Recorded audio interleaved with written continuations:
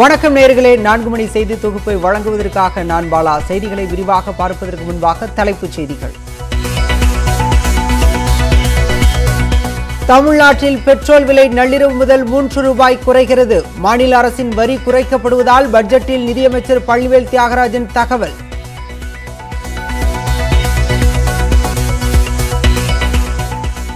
குடும்ப தலைவிகளுக்கு மாதம் தோறும் ஆயிரம் ரூபாய் வழங்குவது ஏழைகளுக்கான திட்டம். ரேஷன் கார்டில் குடும்ப தலைவரின் பெயரை மாற்ற வேண்டியதில்லை என நிதியமைச்சர் விளக்கம்.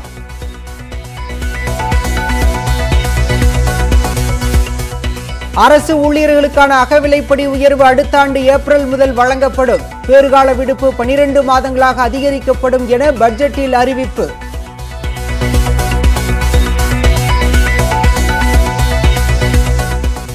மகளிர் சுய உதவிக்குழுக்களுக்கு வழங்கப்பட்ட இரண்டாயிரத்தி எழுநூற்று ஐம்பத்தி ஆறு கோடி ரூபாய் கடன் தள்ளுபடி. கூட்டுறவு கடன் சங்கங்களில் பெற்ற கடன் தொடர்பாக நிதியமைச்சர் பள்ளிவேல் தியாகராஜன் அறிவிப்பு.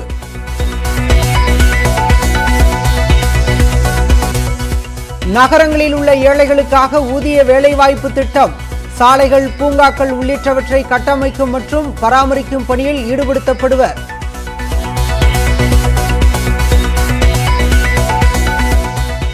விழுப்புரம் திருப்பூர் தூத்துக்குடியில் டைடல் பார்க். மதுரையில் மெட்ரோ ரயில் திட்டத்திற்கு ஆய்வு நடத்தப்படும் என பட்ஜெட்டில் அறிவிப்பு.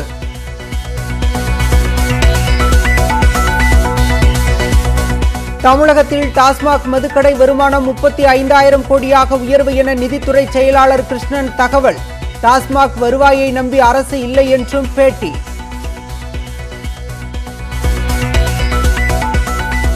கூட்டுறவு சங்கங்களில் ஐந்து சவர நகை கடன் பெற்றவர்களின் தகவல்களை அனுப்பவும் கூட்டுறவு சங்கங்களின் பதிவாளர் உத்தரவு.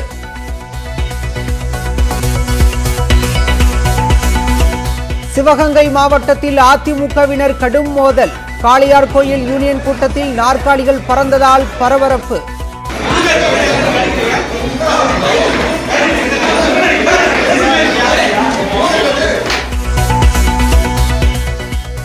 ஆரணி அருகே லாரி மீது கார் மோதிய விபத்தில் ஆறு பேர் உயிரிழப்பு. கோயிலுக்கு சென்று கொண்டிருந்த போது கார் டயர் வெடித்ததால் விபத்து.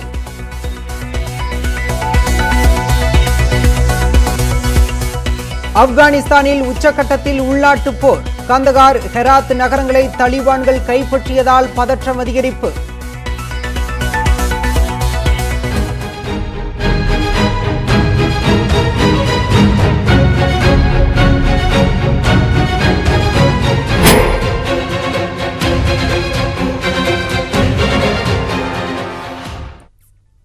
கூட்டுறவு கடன் சங்கங்கள் மூலம் மகளிர் சுய உதவி குழுக்களுக்கு வழங்கப்பட்ட கடன் தொகை இரண்டாயிரத்தி எழுநூற்று ஐம்பத்தி ஆறு கோடி ரூபாயை தள்ளுபடி செய்வதாக பட்ஜெட்டில் அறிவிக்கப்பட்டுள்ளது.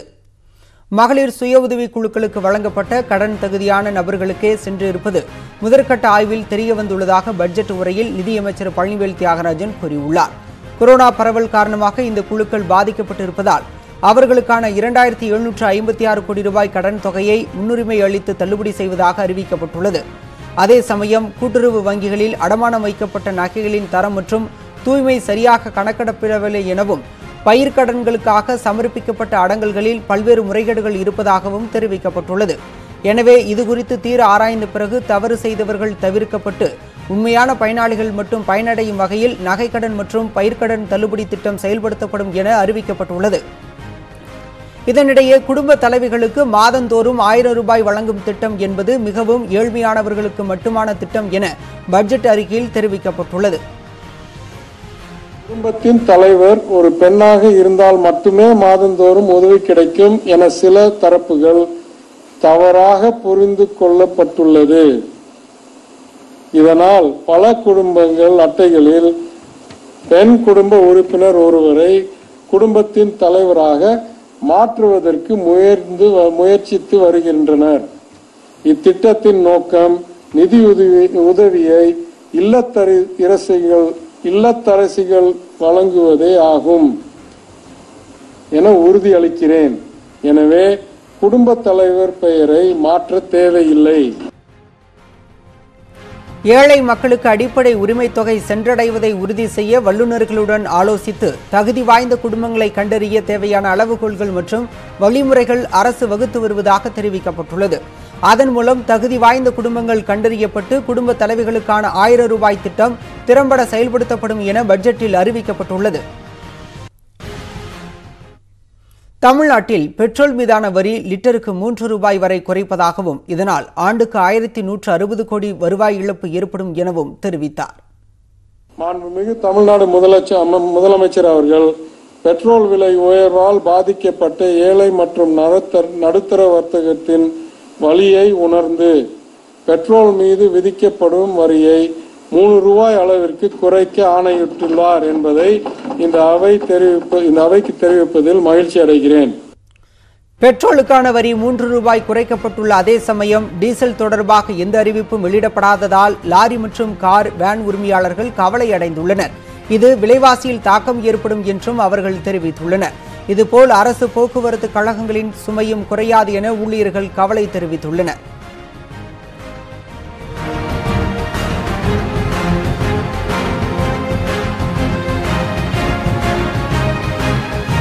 இந்த நிலையில் திமுக தேர்தல் அறிக்கையில் கூறியது போலவே டீசலுக்கும் லிட்டர் நான்கு ரூபாய் குறைக்க வேண்டும் என்று மாநில லாரி உரிமையாளர்கள் சங்கத்தின் செயலாளர் தனராஜ் கோரிக்கை விடுத்துள்ளார். இது தொடர்பாக பேசிய அவர் பெட்ரோல் விலை குறைப்பால் மக்களின் விலைவாசி உயர்வு குறையாது என்று கூறினார். தமிழக அரசுகிட்ட நாங்கள் பெரிதும் எதிர்பார்த்து என்னன்னு கேட்டாங்கன்னா எங்களை கொஞ்சமாவது வாழ்வாதாரத்தை மேம்படுத்த இந்த டீசல் விலையை குறைப்பாங்கன்னு தான் எதிர்பார்த்தோம். டீசல் விலை உண்டான வரிகளை இதுவரை குறைக்கல. இது எங்களுக்கு வந்து பெரிய ஏமாற்றமாக இருக்குது அதாவது ஒரு லாரி உரிமையாளர்கள்லாம் மட்டும் கிடையாது. லாரி நாலு லட்சத்தி அறுபத்தையாயிரம் லாரிகள் இருக்குது அதை விட இலகு ரக வாகனங்கள்னு சொல்லப்போனால் அது ஒரு பன்னெண்டு லட்சம். கிட்டத்தட்ட இருபது லட்சம் லாரிகள் இருக்குது நம்ம நிதியமைச்சர் சொல்லியிருக்காரு ரெண்டு கோடி பேர் வாகனங்கள் இருக்கிறதுனால பெட்ரோல் நிலையினால் பொதுமக்கள் பயனடைவாங்கன்ட்டு. நாங்கள் அப்படி இல்லை. எங்களுடைய வாழ்வாதாரம் பல கோடி பேர் எங்களை நம்பி எங்கள் தொழிலை நம்பி லாரி உரிமையாளர்களுடைய தொழிலை நம்பி இருக்காங்க. இன்னொன்று எங்களுடைய சப்போஸ் ஒரு ஒரு ரூபா ரெண்டு ரூபா வாடகை உயர்த்துங்கிற பட்சத்தில் இது வந்து பொதுமக்களை தான் நேரடியாக பாதிக்கும். தமிழக அரசின் பட்ஜெட்டுக்கு எதிர்ப்பு தெரிவித்து அதிமுக சட்டமன்ற உறுப்பினர்கள் வெளிநடப்பு செய்தனர். சென்னை கலைவாணர் அரங்கில் நிதியமைச்சர் பழனிவேல் தியாகராஜன் நிதிநிலை அறிக்கையை வாசிக்க தொடங்கிய போது அதிமுகவினர் கோஷம் எழுப்பினர். நிதியமைச்சரின் வெள்ளை அறிக்கை குறித்து எதிர்க்கட்சிகள் பேச கோரிக்கை விடுக்கப்பட்ட போது சபாநாயகர் மறுப்பு தெரிவித்தார். பின்னர் அதிமுக உறுப்பினர் அனைவரும் வெளிநடப்பு செய்தனர். சட்டப்பேரவைக்கு வெளியே செய்தியாளர்களை சந்தித்த எதிர்க்கட்சித் தலைவர் எடப்பாடி பழனிசாமி ஆட்சிக்கு வந்தவுடன் நீட் தேர்வை ரத்து செய்வதாக கூறிவிட்டு வாக்குறுதியை நிறைவேற்றாத திமுக அரசை கண்டித்து வெளிநடப்பு செய்வதாக கூறினார். சட்டமன்ற தேர்தலின் போது ஐநூத்தி அஞ்சுக்கும் மேற்பட்ட நடைமுறைப்படுத்த முடியாத வாக்குறுதிகளை நிறைவேற்றுவதாக கூறி திராவிட முன்னேற்ற கழகம் ஆட்சிக்கு வந்தீர்கள்.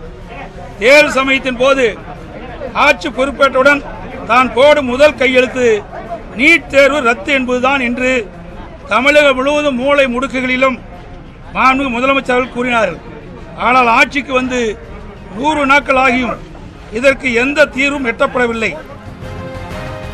தொடர்ந்து பேசிய அவர் வெள்ளை அறிக்கை என்ற பெயரில் வெற்று அறிக்கையை வெளியிட்டு நிதியமைச்சர் பழனிவேல் தியாகராஜன் விளம்பரம் தேடுவதாக கடுமையாக விமர்சித்தார். மேலும் அதிமுக ஆட்சியில் அரிசி குடும்ப அட்டைதாரர்களுக்கு நலத்திட்ட உதவிகளை வழங்கியதை குறை கூறும் திமுக அரசு முந்தைய ஆட்சி காலத்தில் தொலைக்காட்சி பெட்டி கொடுத்தது ஏன் என கேள்வி எழுப்பினார்.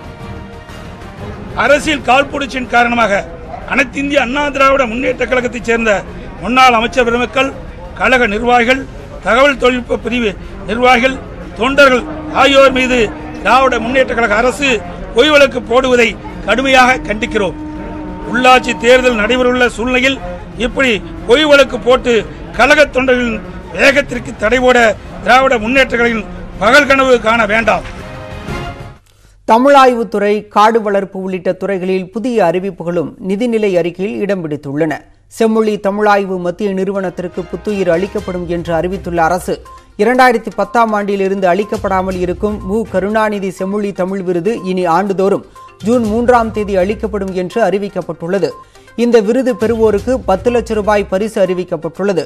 சிறப்பு பொது விநியோக திட்டத்தின் கீழ் மானிய விலையில் பருப்பு மற்றும் சமையல் எண்ணெய் நடப்பு நிதியாண்டிலும் செயல்படுத்தப்படுவதுடன் உணவு மானியத்திற்கு எட்டாயிரத்தி நானூற்று முப்பத்தி ஏழு கோடி ரூபாய் ஒதுக்கப்பட்டுள்ளது. காடு மற்றும் மரங்களின் அடர்த்தியை முப்பத்தி மூன்று விழுக்காடாக உயர்த்த பசுமை இயக்கம் ஏற்படுத்தப்பட்டு பெரும் மரம் நடும் திட்டம் அடுத்த பத்து ஆண்டுகளில் செயல்படுத்த முடிவு செய்யப்பட்டுள்ளது. ஆயிரத்தி இருநூறு கோடி ரூபாய் செலவில் நடப்பு நிதியாண்டில் அண்ணா மறுமலர்ச்சி திட்டம் தொடங்கப்பட உள்ளதாக அறிவிக்கப்பட்டுள்ளது. நகர்ப்புற உள்ளாட்சி அமைப்புகளுக்கு உதவும் வகையில் கலைஞர் நகர்ப்புற மேம்பாட்டு திட்டம் என்ற பெயரில் ஆயிரம் கோடி ரூபாய் நிதியில் திட்டம் ஒன்று அறிவிக்கப்பட்டுள்ளது. துணிநூல் துறையில் கவனம் செலுத்துவதற்காக ஒரு தனி இயக்குநரகம் உருவாக்கப்படும் என்றும் பட்ஜெட்டில் அறிவிக்கப்பட்டுள்ளது. தொடர்ந்து பேசிய நிதியமைச்சர் நகர்ப்புறங்களில் சாலைகள் மற்றும் பொது சொத்துக்களை பராமரித்தல் உள்ளிட்ட பணிகள் மூலம் நகர்ப்புற ஏழைகளுக்கு புதிய வேலைவாய்ப்பை உருவாக்கும் திட்டம் உருவாக்கப்படும் என அறிவித்தார். சாலைகள் கட்டடங்கள் போன்ற பொது சொத்துக்களை கட்டமைத்தல் மற்றும் பராமரித்தல் ஆகிய பணிகளிலும் நீர்நிலைகளை புதுப்பித்தல் போன்றவற்றிலும் நகர்ப்புற ஏழைகள் ஈடுபடுவதன் மூலம் பயன் தரும் வேலைவாய்ப்பை ஏற்படுத்தக்கூடிய ஒரு முன்னோடி திட்டமாக இந்த அரசு ஒரு நகர்ப்புற ஊதிய வேலைவாய்ப்பு திட்டத்தை ஏற்படுத்தும். அரசு ஊழியர்களுக்கான அகவிலைப்படி உயர்வு அடுத்த ஆண்டு ஏப்ரல் மாதம் முதல் வழங்கப்படும் என பட்ஜெட்டில் நிதியமைச்சர் பழனிவேல் தியாகராஜன் தெரிவித்துள்ளார். டிஏவை உயர்த்துவது அரசு எதிர்கொள்ள கொள்ளும் நிதி நெருக்கடி அரசு ஊழியர்களுக்கு நன்கு அறிவார்கள்.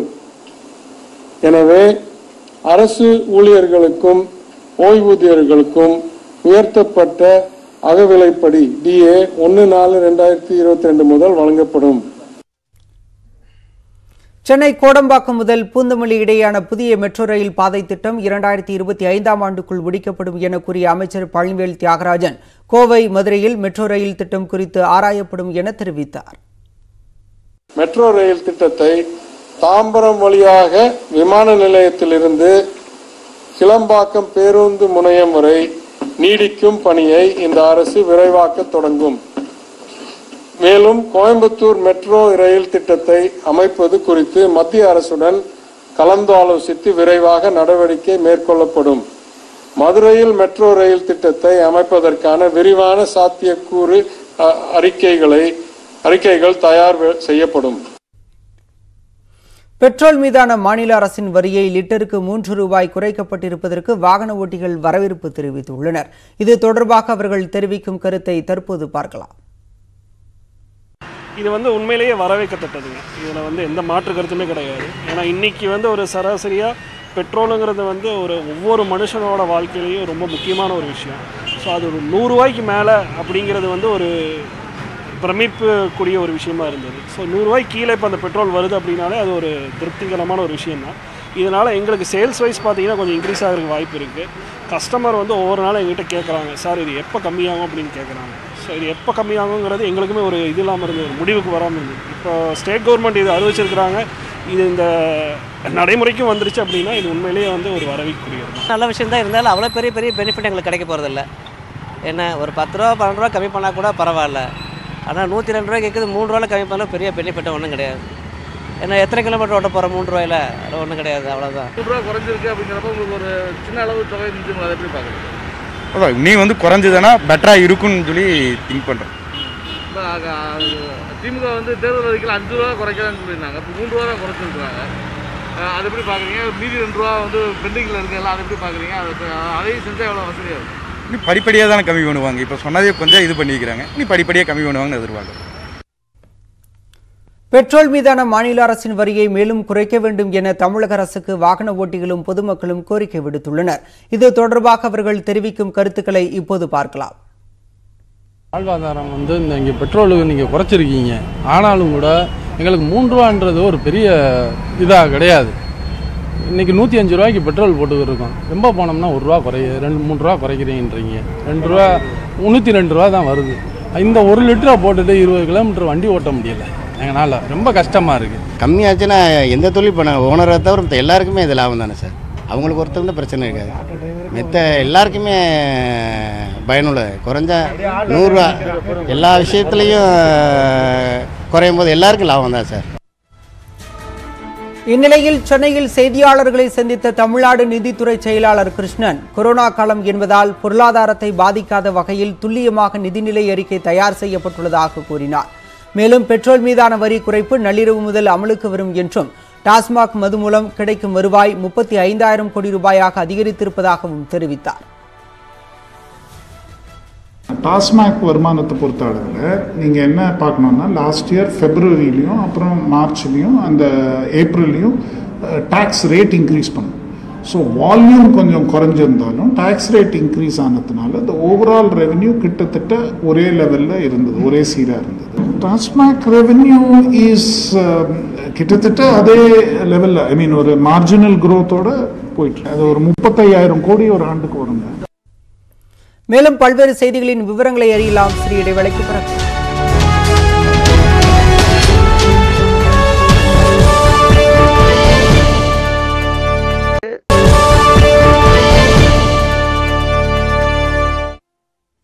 செய்திகள் தொடர்கின்றன. தொடர்ந்து விரைவு செய்தி தொகுப்பை காணலாம்.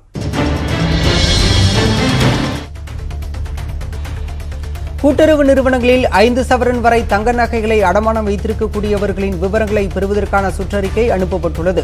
தமிழகத்தில் உள்ள கூட்டுறவு வங்கிகளில் ஐந்து சவரனுக்கு உட்பட்ட நகைக்கடன் தள்ளுபடி செய்யப்படும் என திமுக தேர்தல் அறிக்கையில் கூறியிருந்தது. இந்த நிலையில் கூட்டுறவு சங்கங்களின் பதிவாளர் அனுப்பியுள்ள சுற்றறிக்கையில் ஐந்து சவரன் அதாவது நாற்பது கிராம் அளவிற்கு உட்பட்ட நகையை அடமானம் வைத்து கடன் வாங்கியவர்களின் விவரங்கள் கோரப்பட்டுள்ளன. கடன் வாங்கியவர்களின் ஆதார் எண் உள்ளிட்ட குடும்ப விவரங்கள் தயார் நிலையில் வைத்திருக்கவும் கேட்டுக் கொள்ளப்பட்டுள்ளது இதன் அடிப்படையில் இந்த விவரங்கள் அனைத்தும் இணைக்கப்பட்டு வரும் பதினாறாம் தேதிக்குள் பதிவாளர் அலுவலகத்திற்கு அனுப்ப வேண்டும் எனவும் கூட்டுறவு சங்கங்களின் பதிவாளர் தெரிவித்துள்ளார். நகைக்கடன் தள்ளுபடி தொடர்பாக முறைப்படுத்தப்பட்ட அறிவிப்பு விரைவில் வெளியாக உள்ளதால் பயனாளர் விவரம் சேகரிக்கப்படுவதாக தெரிவிக்கப்பட்டுள்ளது. முன்னாள் முதலமைச்சர் ஜெயலலிதா மரணம் தொடர்பான விசாரணை தொன்னூறு சதவீதம் முடிவடைந்து விட்டதாக சென்னை உயர்நீதிமன்றத்தில் ஆறுமுகசாமி விசாரணை ஆணையம் தெரிவித்திருக்கிறது. ஜெயலலிதா மரணம் தொடர்பாக ஆறுமுகசாமி விசாரணை ஆணையம் அமைக்கப்பட்டு நான்கு ஆண்டுகள் ஆகியும் இதுவரை அறிக்கை தாக்கல் செய்யப்படவில்லை என கூறி சுப்பிரமணி என்பவர் சென்னை உயர்நீதிமன்றத்தில் மனு தாக்கல் செய்தார். இதுநாள் வரை அறிக்கை தாக்கல் செய்யப்படாததால் ஆணையத்தை கலைக்க உத்தரவிட வேண்டும் என அவர் கோரிக்கை விடுத்திருந்தார். இந்த மனு தலைமை நீதிபதி சஞ்சீவ் பானர்ஜி அமர்வில் விசாரணைக்கு வந்தது. அப்போது ஆணையத்தின் சார்பில் ஆஜரான வழக்கறிஞர் ஜெயலலிதா மரணம் தொடர்பான விசாரணை தொன்னூறு சதவீதம் முடிவடைந்து விட்டதாகும். இதுவரை நூற்றுக்கும் மேற்பட்டோரிடம் விசாரணை நடத்தப்பட்டுள்ளதாகவும் தெரிவித்தார். அப்பல்லோ மருத்துவமனை தொடர்ந்த வழக்கில் விசாரணை ஆணையத்திற்கு உச்சநீதிமன்றம் தற்காலிக தடை விதித்ததால் இரண்டாயிரத்து பத்தொன்பதாம் ஆண்டு ஏப்ரல் மாதம் முதல் விசாரணை நிறுத்தப்பட்டுள்ளதாக அவர் கூறினார். இதனை ஏற்ற நீதிபதிகள் வழக்கின் விசாரணையை மூன்று வாரங்களுக்கு ஒத்திவைத்துள்ளனா் சிவகங்கை மாவட்டம் காளையார் கோவிலில் நடைபெற்ற ஒன்றிய கவுன்சிலர்கள் கூட்டத்தில் அதிமுக கவுன்சிலர்களிடையே ஏற்பட்ட மோதல் கைகலப்பானது. சேர்மன் ராஜேஸ்வரி தலைமையில் நடைபெற்ற கூட்டத்தில் மொத்தம் பத்தொன்பது கவுன்சிலர்கள் கலந்து கொண்டனர். அப்போது சேர்மன் ராஜேஸ்வரியின் செயல்பாடுகள் குறித்து வேளாங்குளத்தை சேர்ந்த கவுன்சிலர் மகேஸ்வரன் கேள்வி எழுப்பியுள்ளார். இதற்கு எதிர்ப்பு தெரிவித்து முடிகரை கவுன்சிலர் மனோகரன் வாக்குவாதம் செய்ய அது கைகலப்பானது. அதிமுக கவுன்சிலர்கள் இருவரும் மாறி மாறி தாக்கிக் கொள்ள அங்கிருந்தவர்கள் அவர்களை சமாதானம் செய்ய முயன்றனர். நாற்காலிகளை தூக்கி வீசி சண்டையிட்டதால் அந்த இடமே கலைபரமானது. பேச்சுவார்த்தை நடத்திய பின்னரே கூட்டம் சுமூகமாக நடைபெற்றது.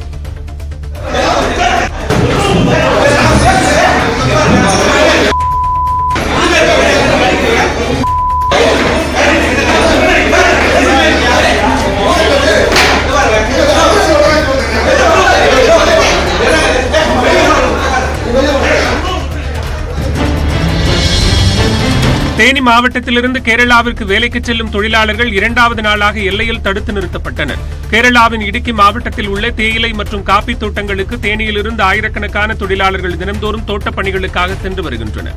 இந்நிலையில் கொரோனா நோய் பரவல் காரணமாக மாநிலம் விட்டு மாநிலம் செல்வதற்கு கட்டுப்பாடு விதிக்கப்பட்டது. அதன்படி கொரோனா நெகட்டிவ் சான்று அல்லது கொரோனா தடுப்பூசி இரண்டு தவணை செலுத்தியதற்கான சான்று இருந்தால் மட்டுமே தொழிலாளர்கள் அனுமதிக்கப்பட்டு வரும் நிலையில் இரண்டாவது நாளாக ஏராளமான தொழிலாளர்கள் கம்பம்மெட்டு போடிமெட்டு ஆகிய இடங்களில் உள்ள சோதனை சாவடிகளில் தடுத்து நிறுத்தப்பட்டு திருப்பி அனுப்பப்பட்டனர்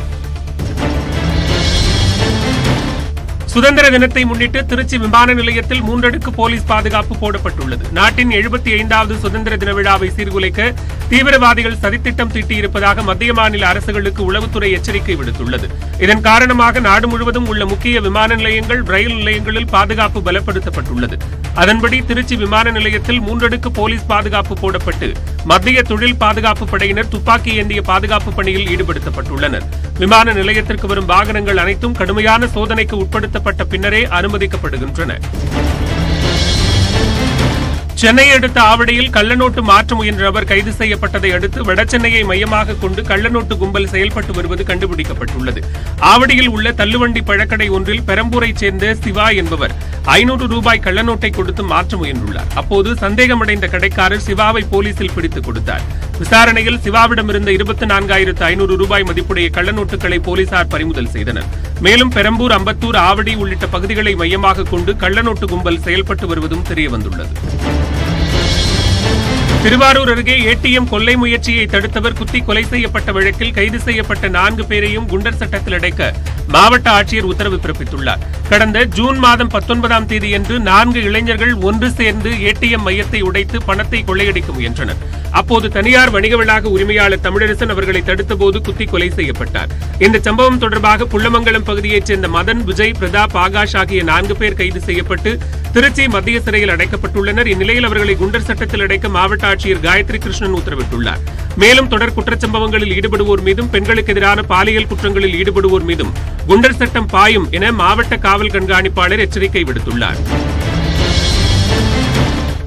பருவநிலை மாற்றம் சவாலாக மாறியுள்ள நிலையில் சுற்றுச்சூழலை காப்பதற்காக இந்தியா முக்கிய முடிவுகளை எடுக்கவிருப்பதாக பிரதமர் நரேந்திர மோடி தெரிவித்துள்ளார்.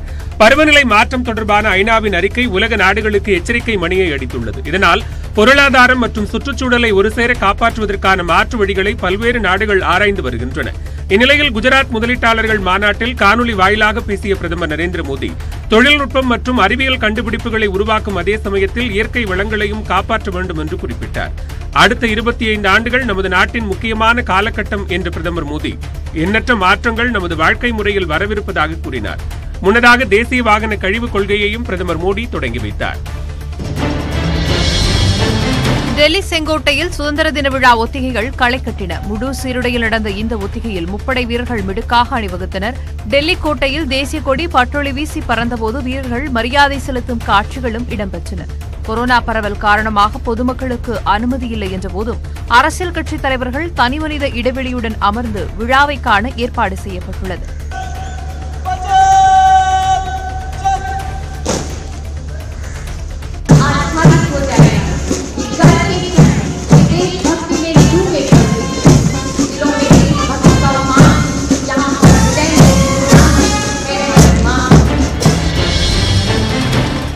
டெல்லி சிறுமி பாலியல் வன்கொடுமை தொடர்பான ராகுல் காந்தியின் இன்ஸ்டாகிராம் வீடியோவை நீக்குமாறு பேஸ்புக் நிறுவனத்திற்கு கடிதம் அனுப்பப்பட்டுள்ளது. டெல்லியில் ஒன்பது வயது சிறுமி பாலியல் வன்கொடுமைக்குள்ளாக்கப்பட்டு கொலை செய்யப்பட்டதை அடுத்து பாதிக்கப்பட்ட குடும்பத்தை சந்தித்து ராகுல் காந்தி ஆறுதல் கூறினார். இதனைத் தொடர்ந்து அப்படங்களை அவர் சமூக வலைதள கணக்குகளில் பதிவிட்டார். இந்நிலையில் சிறுமியின் பெற்றோரின் படங்களை வெளியிட்ட விதிமீறலுக்காக அவரது இன்ஸ்டாகிராம் வீடியோவை நீக்க வேண்டும் என தேசிய குழந்தைகள் நல உரிமைகள் பாதுகாப்பு ஆணையம் வலியுறுத்தியுள்ளது. இத்துடன் இந்த செய்தி தொகுப்பு நிறைவடைந்தது. அண்மை செய்திகளுக்காக இணைந்திருங்கள். இது நியூஸ் எயிட்டின் தமிழ்நாடு.